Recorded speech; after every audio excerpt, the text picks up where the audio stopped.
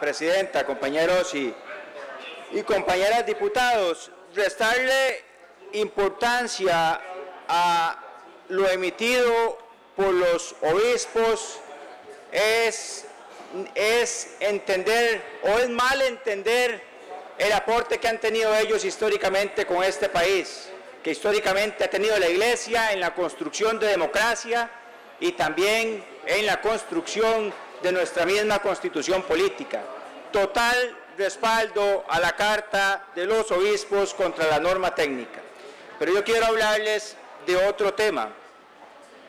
Cuando, cuando nuestro sistema económico no está bien, sea personal o sea también del país, pues la lógica indica que uno trate y busque algunas formas de salir adelante eh, para poder lograr salir de la contracción, para poder dinamizar entonces la economía, eh, que básicamente tiene una reducción general de bienes y servicios.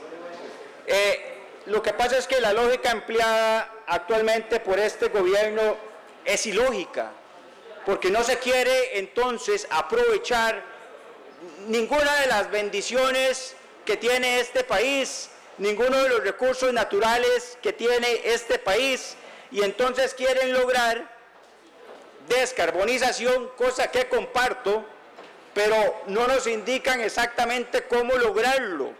Yo quiero que veamos algunos ejemplos interesantes de algunos países. Por ejemplo, el caso de Noruega, con una población muy similar a la de este país. Noruega tiene 5.3 eh, más o menos millones de habitantes. Nosotros estamos cercanos a los 5 millones de habitantes.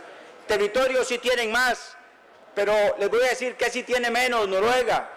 Tiene, tiene menos desempleo solo tiene entre un 2 y un 4% de desempleo, mientras que este país tiene un 12% y sigue aumentando. Noruega sí está en la OCDE y en buena, en buena lid que este país camina hacia ese rumbo, si es que se logra presentar el proyecto que hace falta. Eh, bueno, esperemos, don Eric, que se presente el proyecto. Y, no obstante, no obstante, han hecho algo muy bien y han utilizado sus recursos naturales. Han utilizado el petróleo y han utilizado el gas natural. Y vean qué interesante lo que han logrado, vean qué interesante lo que han logrado ellos. Primer lugar en el índice global de desarrollo humano. Líder en inversión y gasto social per cápita. Líder en desarrollo sostenible líder en desarrollo de energías renovables, primer lugar en el índice global de competitividad energética, una de las posiciones más altas en el índice global de desempeño ambiental, una de las posiciones más altas entre los mejores países para vivir, líder en la búsqueda de carbono neutralidad. Todo esto lo pueden revisar en las páginas de este país. ¿Y ustedes creen que lo lograron sin plata? es que esto no se va a lograr sin recursos. No puede existir una verdadera descarbonización en pobreza, porque entonces las prioridades van a ser otras. Y eso es lo que este país no ha entendido, que tenemos que aprovechar nuestros recursos naturales para salir de la pobreza, para sacar ese 26% de personas que no tienen siquiera que comer todos los días. No entender esto es, es, es no entender lo que está haciendo el mundo. Yo les quiero decir otra cosa que está mal en el tema de la descarbonización planteada por este gobierno.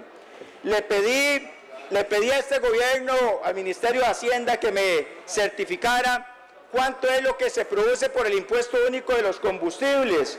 Bueno, se produce más o menos, bueno, más o menos no, un 1.10% para el 2018 del Producto Interno Bruto, un aproximado de 1.500 millones de dólares. Y entonces, como no nos dicen cómo van a, llevar a cabo la descarbonización, ¿de dónde van a, lograr llenar esos 1.500 millones de dólares? ¿Qué es? Que quieren subir el IVA al 30. Es que no puede ser así. Y es que es en la lógica donde está fallando, porque las políticas públicas que está emitiendo este, este, este gobierno van dirigidas precisamente para los que votaron por ellos.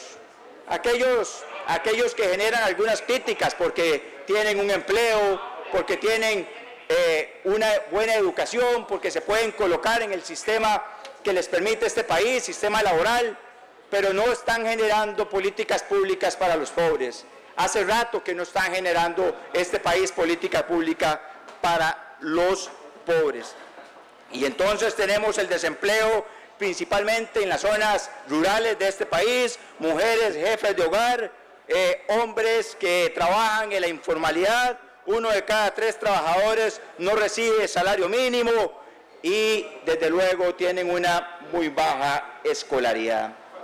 Nosotros tenemos una posibilidad para poder salir adelante, pudiendo utilizar nuestros recursos naturales de forma responsable, de forma ordenada, sea el oro, sea el gas natural, sea el petróleo, sea el agua, cualquiera de todos, pero propongamos cómo poder hacerlo y no simplemente empecemos a decir no se puede, no se puede, el país no se puede y tendrá que salir adelante solo porque no puede, con, otro gobierno de esto simplemente se va eh, a subir las tasas del desempleo y de la pobreza.